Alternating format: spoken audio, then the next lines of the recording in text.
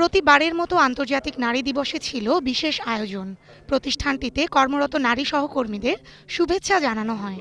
অনুষ্ঠানে উপস্থিত ছিলেন মানবাধিকার কর্মী সুলতানা কামাল।